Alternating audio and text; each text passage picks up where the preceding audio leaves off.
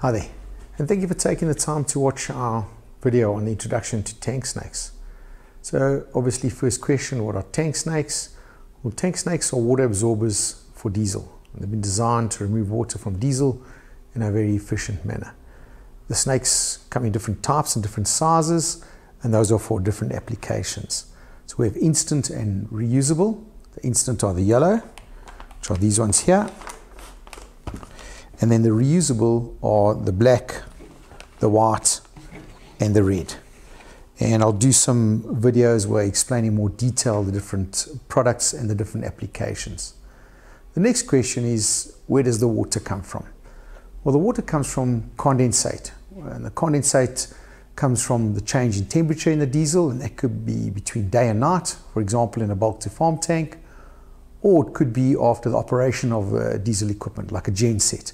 It's been running for quite a few hours, the engine gets hot, the diesel gets hot, and then when it cools down, there's condensate. Obviously, this happens regularly, and eventually there's quite a big buildup of condensate or water in the tank.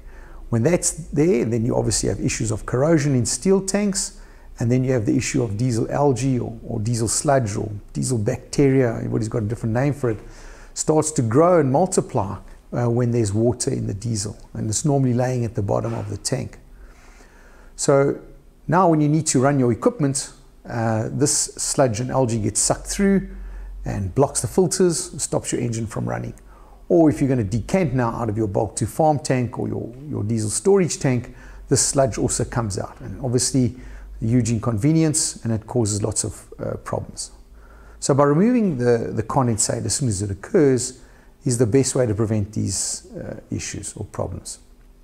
So finally, there's a product that can continuously remove water from your diesel. I've got a little demo here that I've done. If you see the snake when you put it in, this is an instant one. It's pretty thin. Obviously, it's, it's flat now. Uh, we've put it in some diesel. I've gone quite excessive.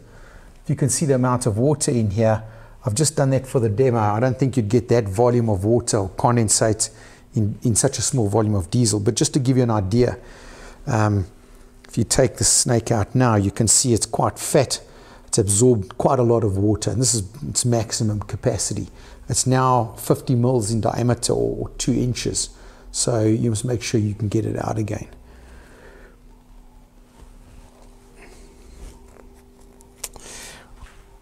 Please go to our website at tanksnakes.co.za. There's more information there, and drop us an email for any inquiries you might have. Thank you. Is it still on? And now?